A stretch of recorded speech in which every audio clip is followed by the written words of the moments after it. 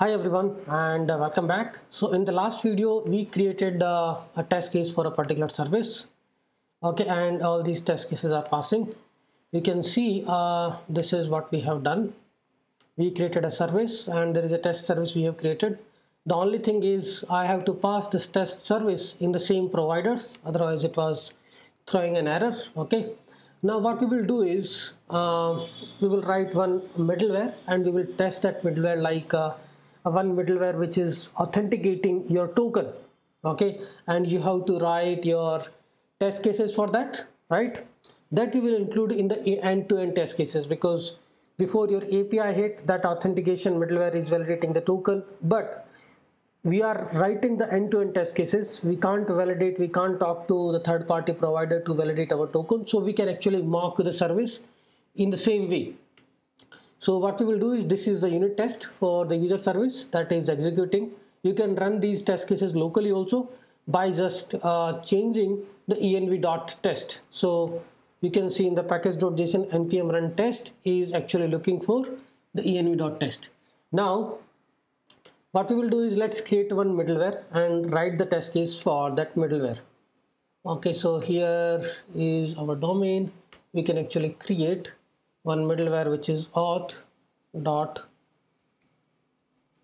dot ts this auth middleware will do nothing but this will be applied on all the apis we have okay? And it will validate if the you are sending the authorization token or not okay? So all these things it is going to validate and then it will decide okay should i allow user to enter in the request or not okay so I will actually use my template and uh, we'll copy this because it's going to be very simple method.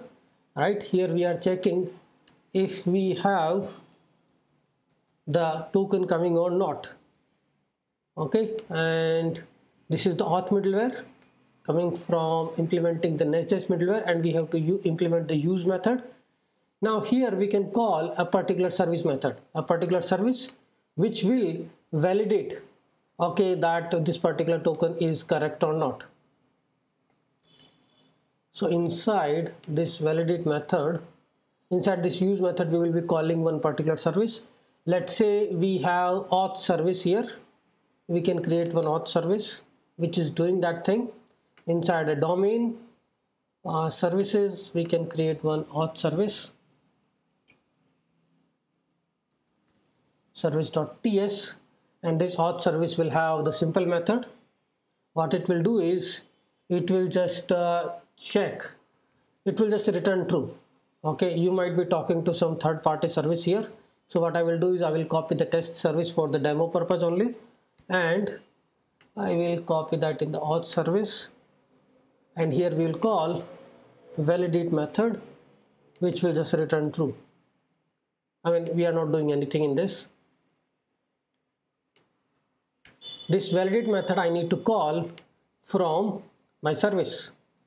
I think we are not using all these things so I will comment this out. So this is auth service we have created.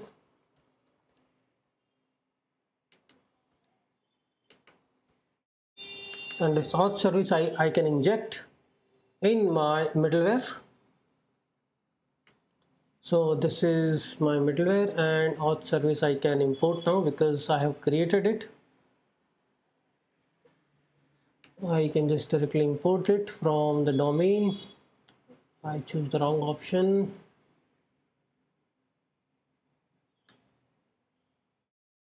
Okay now this request response are coming from express and here I can call this service. If this dot authentication service dot validate. This is the method I'm calling and I might be passing the token let's say. Here we are passing the authorization but it doesn't care about it because it's just a dummy function we have written.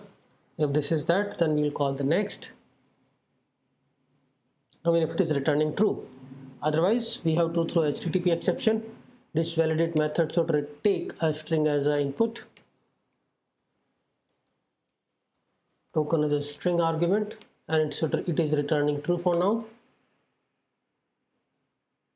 Okay now it should not complain.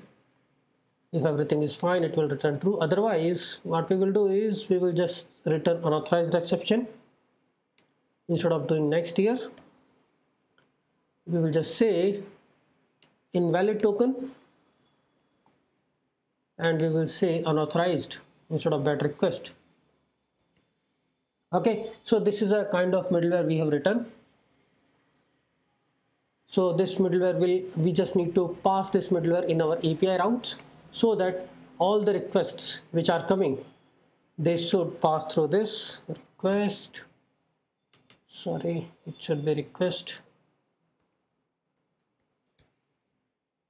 Okay so this middleware will do its uh, job. Now what we need to do we need to patch this in with our service i mean with our module so that all the all the requests which are coming should pass through this particular middleware we have written. So we will we'll go to our domain module. In the domain module we have written uh, we are actually using this auth middleware so that our all the routes are protected. Uh, let's go to our domain module. In the domain module we can just decide okay what all routes what all routes we have which should pass through this and we can also include exclude that is uh, custom definition we can write. So when it is scrolling little slow. Domain module it is implements. I mean we have already write written this in our previous video implements nest module. And here we need to write a configure method. You can just implement it. Or I will just use this implement okay implement uh, so consumer method right? There is a configure method. And using this configure method we can say okay whatever is coming in API v1 health API v1 routes I will be able to pass this middleware there. So auth middleware we are going to import. We are excluding only API v1 health rest all the methods rest all the API routes will use this particular auth middleware to validate things. I will import this one. This is done. So we have configured our module to accept this. Why it is complaining? Okay everything is fine now. Now when we write end-to-end -end test I mean unit tests are fine. You can create a service spec. You can just do npm run unit test. Everything is fine. Now here we are going to talk about the end-to-end -end test this is a unit test for service. I will also add some uh, one thing for the controller so you will get an idea like how to write unit tests for services and controller. And now we will write a end-to-end -end test. We already have some apis written. I will just say if we go to our controller we can add few more methods. I mean i will do it offline and will show you. This is the post. Similarly get user by id get all users all these routes i will add and we already have this authentication middleware in place okay? So while writing end-to-end -end test cases we have to take care of that also okay? So let's connect in the next video and we will write end-to-end -end test case for this one